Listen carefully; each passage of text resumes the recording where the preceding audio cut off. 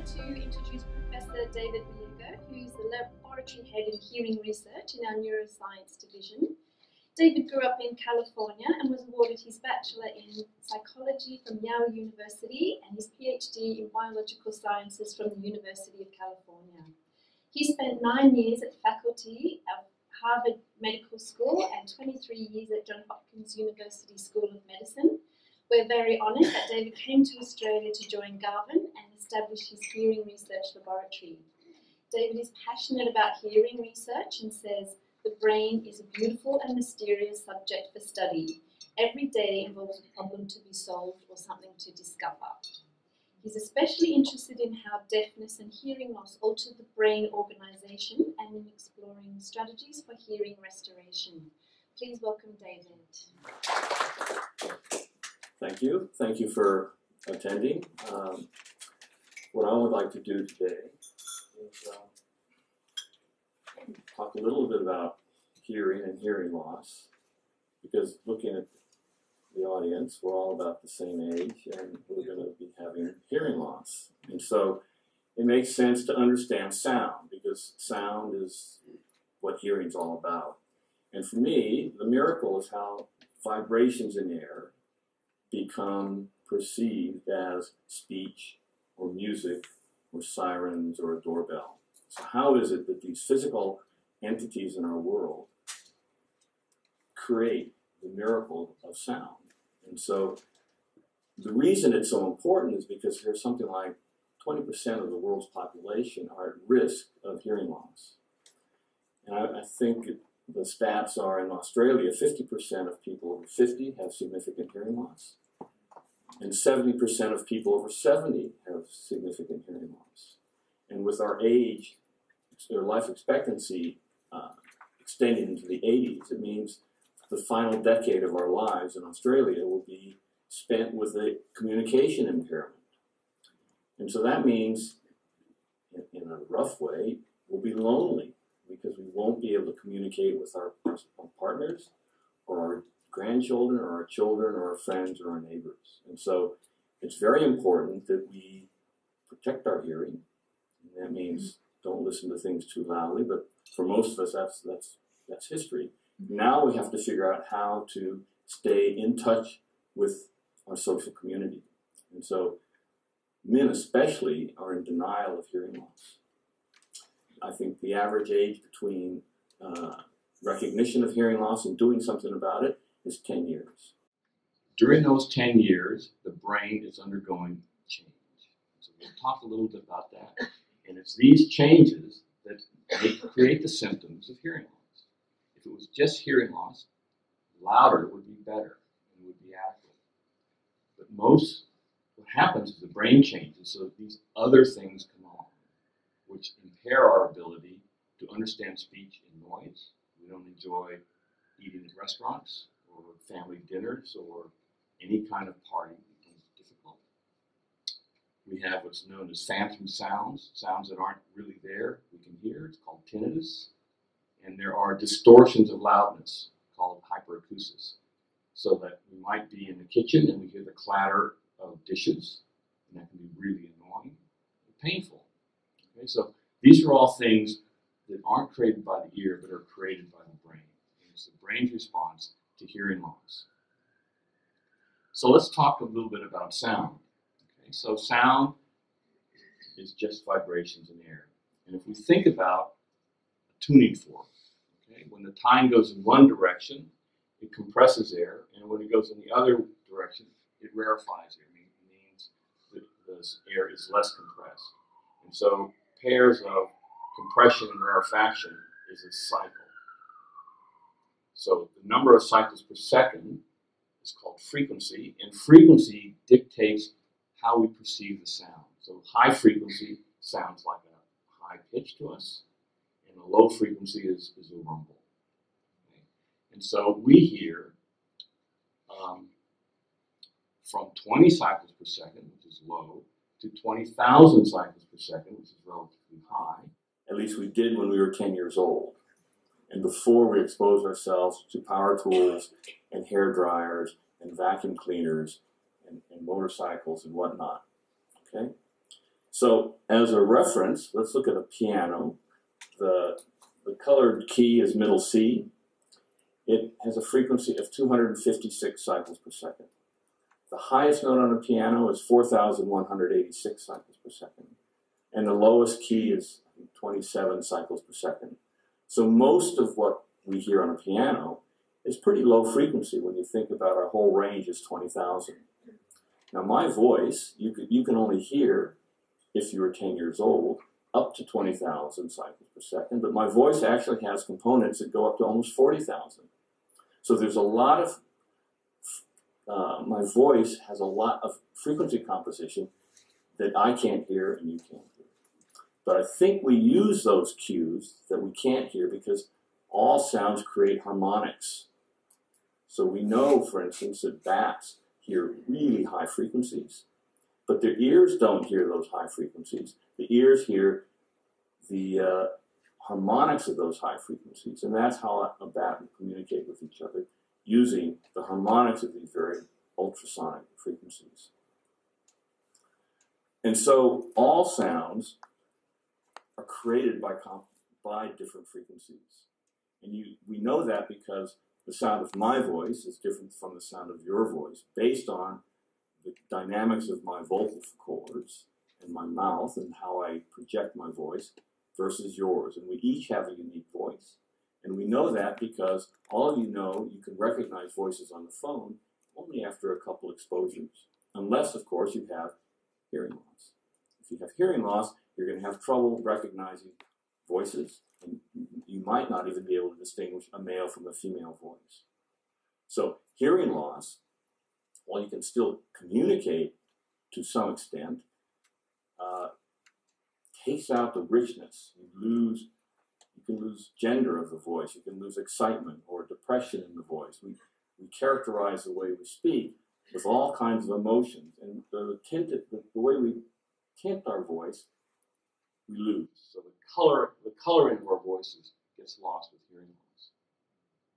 And so, in the same way that rain fractionates light into the colors of the rainbow, our ear breaks down the frequencies of sound into its component frequencies. So we want to keep in track, keep in mind that frequency is very important we'll come back to that. Sound also has energy.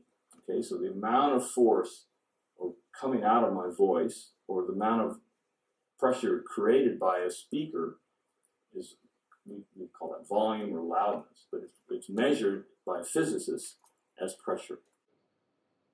Okay? And so, if our hearing was any more sensitive, we'd hear the vibrations of air bouncing against our eardrum. Uh, but we and we can hear really loud sounds. We can make distinctions between really soft sounds sounds. Our ears are really sensitive to changes in loudness. It is thought that when we were young, the amount of sensitivity of our ear was a, a movement, the diameter of a hydrogen ion we could hear. Okay, so we're talking about really sensitive ears. We probably don't have that now, okay, but the gold standard would be like a 10 year old, say, raised in the woods. The third part, component, important part of sound is timing. It has onset, it has offset, it has duration. Okay. And so there's rhythm, as in the Morse code. There's melody. Okay. This is all part of the timing. And there's pronunciation. Okay.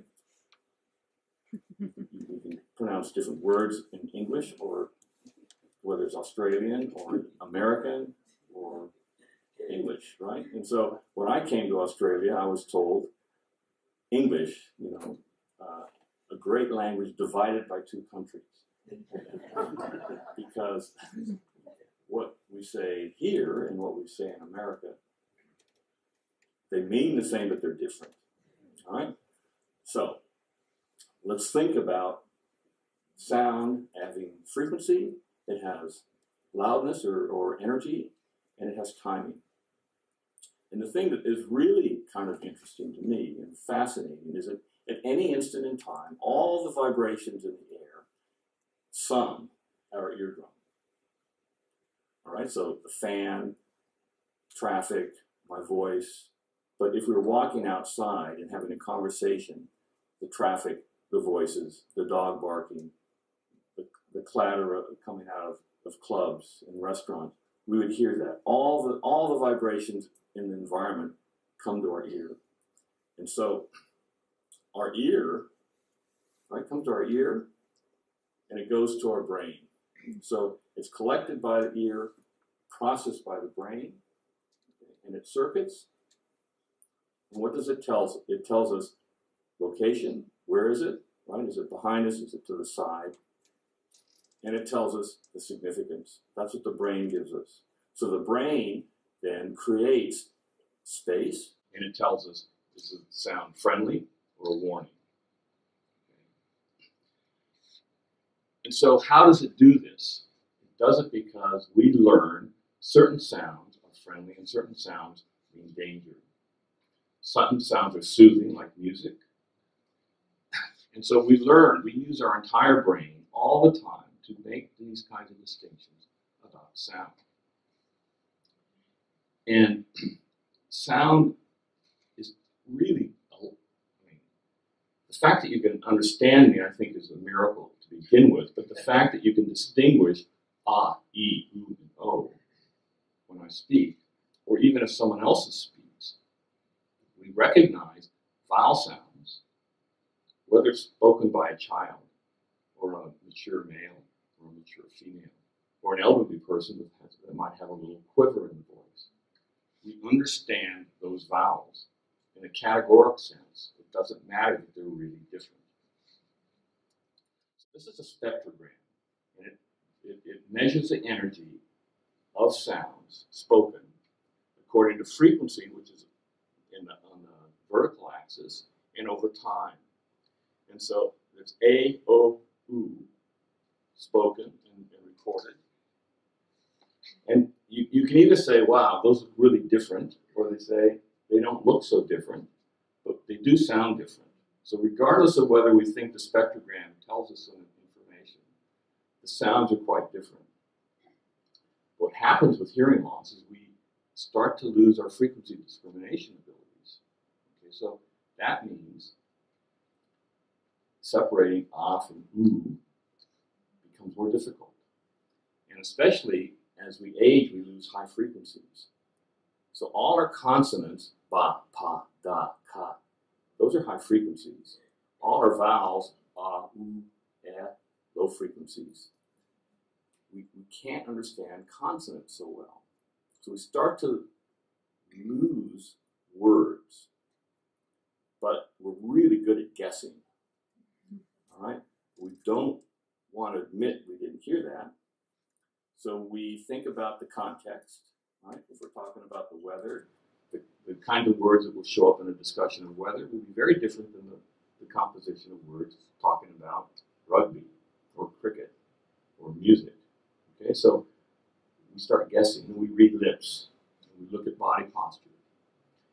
And then sometimes we still don't get it. But we won't necessarily say what. Why is that a problem? Because we're not communicating, but we're faking that we are. And that's a problem.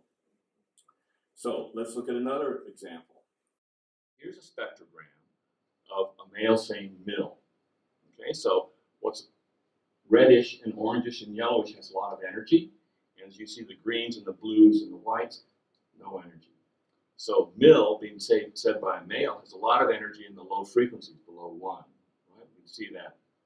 And we can see the scatter of blue and green. It's quite, it's very distinctive. Now we have a female saying mill. It's, to me, it's remarkably different.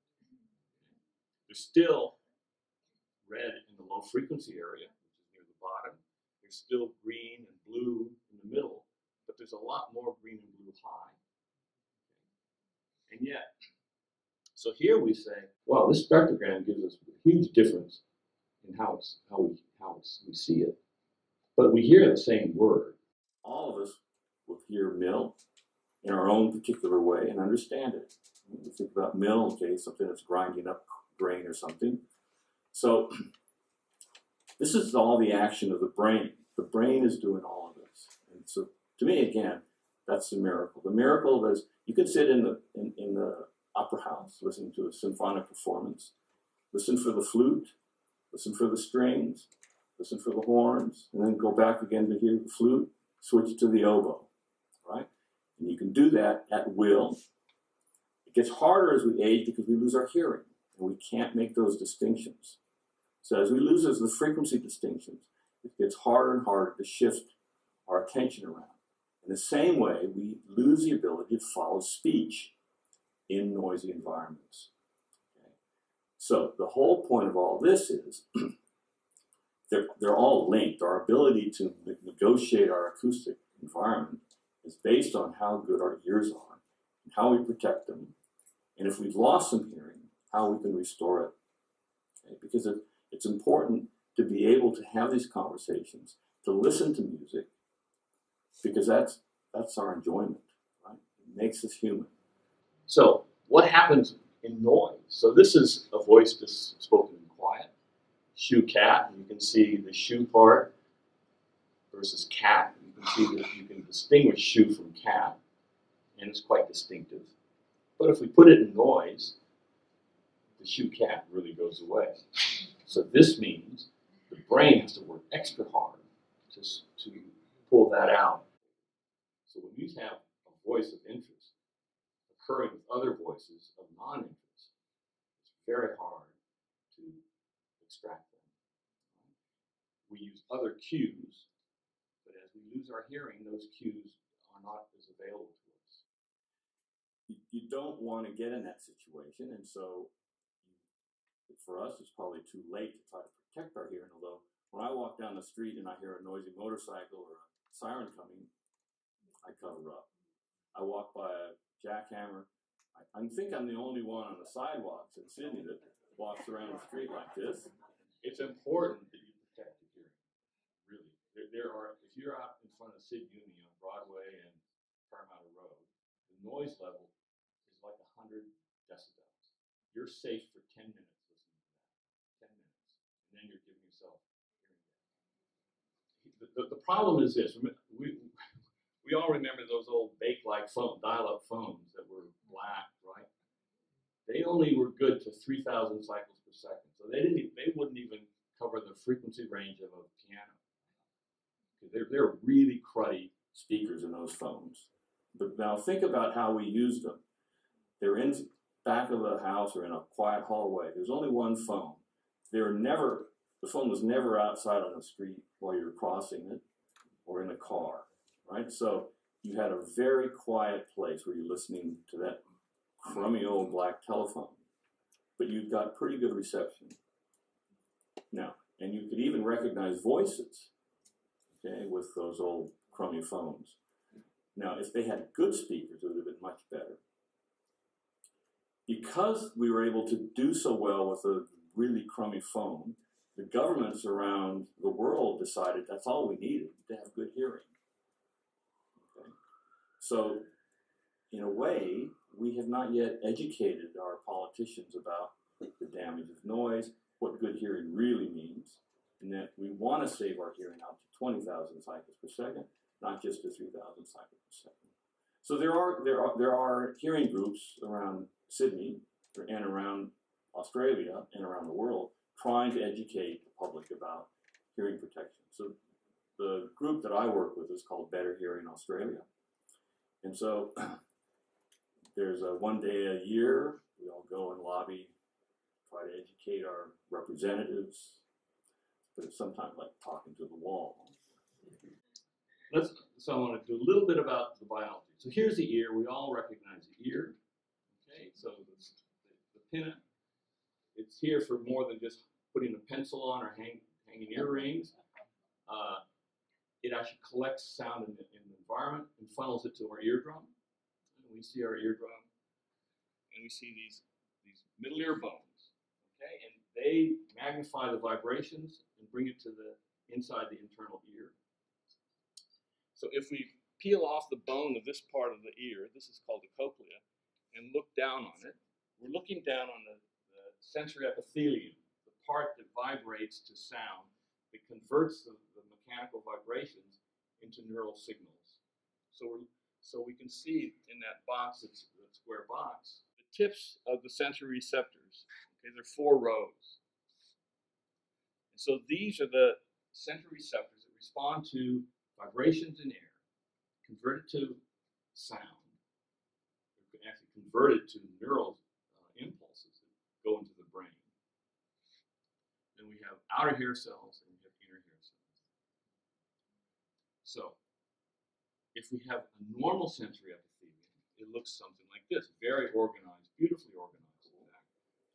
But if we have damage, it looks like this. So this is uh, from a ear that has suffered trauma. Okay, now you can get trauma from cancer drugs, antibiotics, head trauma, loud noise. But what happens with this is like under normal circumstances, you have a lot, you have your full complement of hair cells, sensory cells, you have a full complement of auditory nerve fibers, which are basically neural cables bringing the information to the brain. And that provides you with what I would call a high resolution acoustic environment, much like a high definition video view from your very expensive television. Right? And we all know what it's like when our, our modem goes out and we start getting a pixelated image. Right? We don't like pixelated images because we lose resolution. With with a more pixelated acoustic environment, you're losing the details. You're losing enthusiasm. You're losing excitement. You're losing depression. You're losing sadness. You're losing the colors, the, the way we tint our voice when we communicate to friends. And so, this loss of resolutions uh, is what really creates the problems in how we communicate. And so, the idea then is how does the brain change? And the way the brain changes is what creates the symptoms that we're trying so, so hard to try to avoid. And those are we want to avoid not being able to understand speech. We want we don't want to have tinnitus, and we don't want to suffer from hyperacusis. So, if we are to create devices and to combat hearing loss, because by, by this time and at our age, we have hearing loss.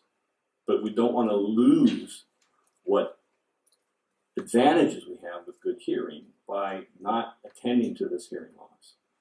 So, what we want to do, what we do in our lab, is try to look at the way the brain changes so that we can then advise hearing device makers to create a better, basically, create a better mousetrap. And, and the real the real fear, I think, for all of us is as we lose, and we will lose hearing, some more rapidly than others, we lose our ability to communicate, and it makes us depressed. Social isolation and depression raises the uh, risk for dementia by fivefold. So if you're starting to feel isolated, or you know someone who's feeling isolated, you need to speak to them, talk to them about getting hearing aids, or seeing their physician about getting plugged back into society.